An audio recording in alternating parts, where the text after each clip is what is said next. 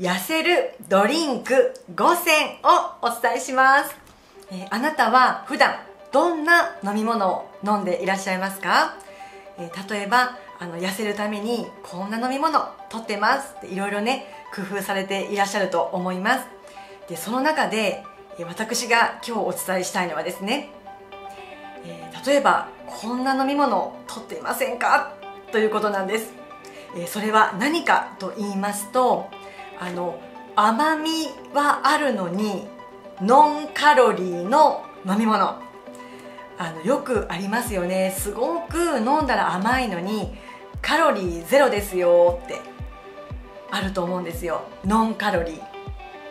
えー実はですねあのこの飲み物が一番、まあ、危険なんです。えーなぜかと言いますとこういったその甘みがあるのにノンカロリーということはその人工甘味料なんですね、まあ、もちろんお砂糖もですねそのインスリンがどんどん出て太りやすいものではあるんですけれどもこのくせ者がですね人工甘味料なんです。でこの人工甘味料はあの砂糖の、えー約600倍もの甘みを感じることができるって言われてるんですね。ですからそのものすごく甘いわけですよ。でもカロリーがない。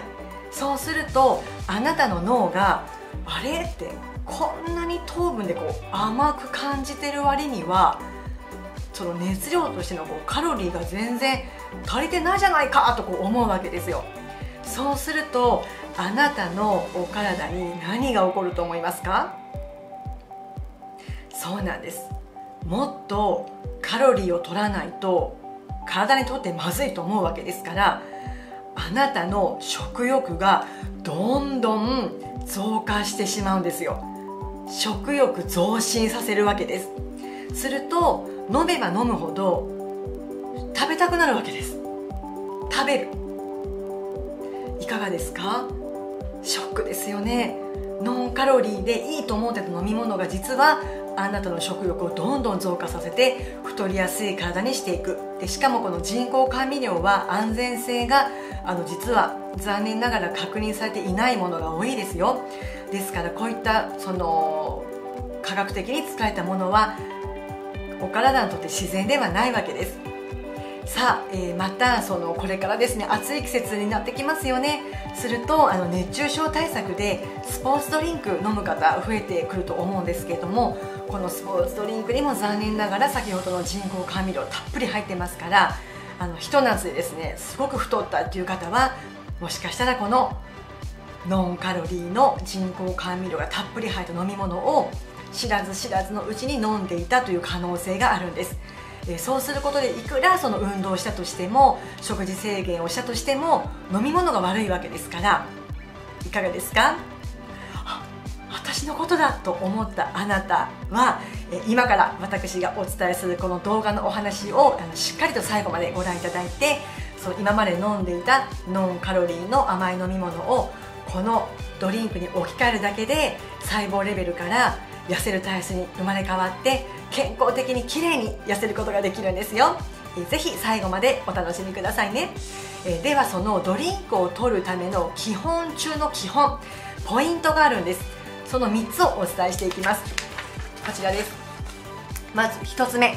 喉が渇く前に飲んでくださいね。ということです。えこれはなぜかと言いますとあ喉が渇いてから飲むのはもう遅いんです。えーその状態ですとあなたの血液が水分不足になっていて、まあ、結果そのドロドロ値になってしまう、えーそうすると老廃物がどんどん溜まって溜め込みやすい体へとなる、まあ、イコール太ってしまう体質になってしまうわけですからもうとにかくポイントはですねあの最低1日1.2リットルのお水をあのコップ1杯程度200ミリリットルぐらいでしょうね。そういった量をあのこまめに分けて飲むのがポイントなんです。あの一気飲みするとですねあの吸収できる量って決まってますから全然吸収できないですね。ですから今のポイントを押さえてしっかりと飲んでください。で2つ目はあの先ほどの、まあ、言ったカロリーオフの人工甘味料の飲み物は飲まないということです。もうあなたなら今ねしっかり聞いていただきましたがお分かりですよね。そして3つ目はあの糖分なしのノンカフェインを取りましょうです。あのカフェインねいろいろありますよね。例えばあのコーヒー紅茶緑茶全部カフェインです。でもちろん適量でしたらいいんですよ。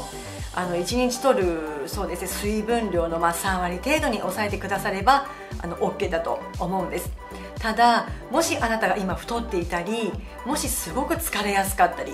ストレスが溜まってる。でしたらカフェインはおすすめしません、えー、なぜかというとそのカフェインを取るとですねその交感神経といって自律神経のバランスをですねそのスイッチオンにしやすくなってしまうわけですね。ですから本来であればこうリラックスする副交感神経の方がこう優位になる時しかその腸は、まあ、腸内環境ですね。腸がよく動いてくれませんからその腸内環境を良くするためにもノンカフェインがおすすめなんです。でまたプラスその疲れてらっしゃるとかあのストレスがかかってる方がカフェインを飲みすぎてしまうとそのスイッチオンになるわけですから本当は休みたいのにその脳がですねもっとできるぞってその無知をこう打つわけです。もっとできるもっとできるって。もっと頑張れ頑張れってねあのあなたをですね休ませてくれなくなってしまうわけですよね。休まらない。そうするとあの頑張れてしまうわけですからでも体は疲れてるんですよ本当は。ですからカフェインはほどほどになんです。なので今あのお伝えしました3つのポイントはどんな飲み物を飲む時もそのベースとして押さえておいてくださいね。ではここから実際に痩せるドリンクの5選ベスト5をですねお伝えしていきます。1つ目もうまずはもうベストはですねナンバーワンは水です。もう水に勝るものはなしと言っていいぐらいお水ってですね侮っちゃダメです。お水なんですよ。水分っていうのはお水のことなんです。それ以外の飲み物はもう嗜好品と思ってください、えー、なぜかというとそのお水しかあなたのその全身を巡らせる体液血液だったりリンパ液だったりですねそういったものって運べないんです。お水がベスト。そこがしっかり動かないとどんなに頑張っても痩せることはできません。大丈夫でしょうか？そしてただそのお水といってもですねそのお水ばっかりいっぱいちょっと苦手だなっていう方には朗報です。レモン水です。えーと、すいません。先ほどのこの1番のお水ですよね。できれば天然水や浄水など良質のお水にしてください。でもしあなたが便秘でしたらあの香水といってそうですね、まあ、ヨーロッパ地方でこう取れるようなお水がそのミネラルがこう濃度が高いので、まあ、特にマグネシウムが入っていますから便秘解消には OK でただあなたがもしその便が緩いお腹が緩いで困ってるっていう時はあの香水はあの合ってないです、えー、日本でまあ取れるようなこう軟水って呼ばれるこうまろやかで、まあ、優しい味。あの軟水が、えー、南米の方にはベストですから使い分けてくださいね。えーと、すみません。お水プラスアルファ余談でした。でこの2番目レモン水ですけども作り方このお水に、まあ、こういったそのレモン果汁を、まあ、適量入れていただいて飲んでください。そうすることで、まあ、ビタミン C も取れますしその便秘改善にも役立ちます。では3つ目。こちらです。ルイボスティーです。私これルイボスティー大好きなんです。普段からもよくあの12杯は飲みます、このルイボスティーですね、私があの別の動画でもあのお話ししているファスティング中、えー、ファスティングする時にもすごく役立つんですね、えなぜかと言いますと脂肪を燃焼する効果が高いお茶なんです。これはですねあのしかも味もね香りも良くてあの本当におすすめなんですね。えこのルイボスティーを取ることでまずあなたの脂肪がこうどんどん燃焼される。プラスあの非ヘム鉄といってその植物性由来の鉄分が取れるんですね。でこう私たち女性って特にこう鉄分不足の方多いんですよね。貧血の方。でもその動物性のあのヘム鉄要はこうレバーとかですね。そんな毎日その食べれないじゃないですか。私も無理です。そういった時にこの、ルイボスティーの、含む非ヘム鉄植物性由来のものを、え取ると、鉄分補給にもなりますしただその動物性由来のそのヘム鉄に比べてですねこの非ヘム鉄はちょっと体にですね吸収されにくいんですよね残念ながら。その時に役立つのが先ほどのこのレモン水です。なぜかというとそのビタミン C とこうセットで取るとその非ヘム鉄吸収しやすくなりますからこう2番と3番のドリンクをこう交互に飲むといいかもしれないですね。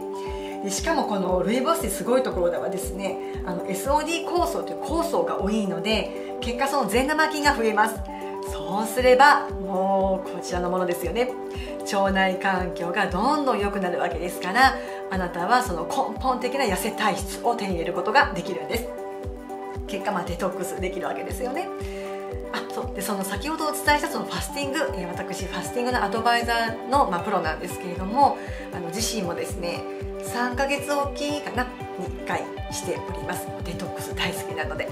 デトックスしてるんですね。で実はこの YouTube の詳細欄に LINE のリンクを貼っておりますのでそちらからご登録後皆様のファスティングにご興味ある方健康的にきれいに痩せたい方あの短期間で痩せたい方とかはですね、え、私の方までその LINE を通じて1対1で、え楽しくやり取りしておりますのでご必要な方は LINE から、え私にご相談くださいね。では、え4つ目。黒豆茶です。こちらです。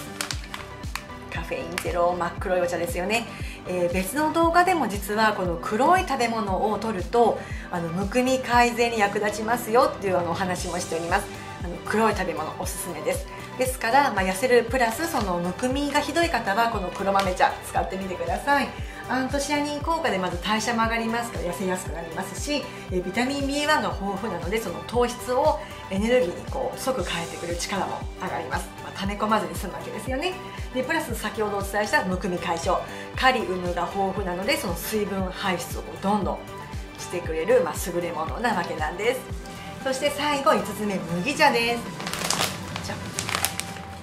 茶ですね。でおすすめはまできればこういったの無漂白パックに入っているお茶がいいですよ。でもちろんその国内産がおすすめですよね。そしてこの麦茶はですねよくあのご家庭で夏になると冷蔵庫に冷やして飲んでますという方多いと思うんですがあの本当にいいと思います。あのポリフェノールが豊富ですから活性酸素を抑えてくれますから、まあ、老化しない錆びない体にもなれますしあのマグネシウムなどのミネラルが豊富なので先ほどの黒豆茶と一緒あのむくみ解消にも役立ちますしその便秘改善にもなるんですよね。以上この痩せるドリンク5選いかがだったでしょうか？あの決してねあの手に入れるのが難しいものでも全くないですしあの本当どこでも手軽に買えますよね。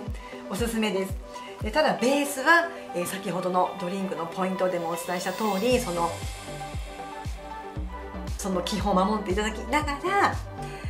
今ね暑くなるから冷たいもの美味しいと思うんですけれどもあのぜひ冷たいものは3割程度に抑えていただいて、まあ、どうしても冷たいもの飲んだら温かいものをこう交互で飲んだり、まあ、せめて氷は入れないとかぜひぜひ腸を冷やさないように工夫してみてくださいでちなみにですねよくある質問がですね私受ける質問が「あの先生ってどんな飲み物飲んでるんですか?」って言われるんですけど、えー、ここで、えー、公開いたします私の1日取る水分摂取の割合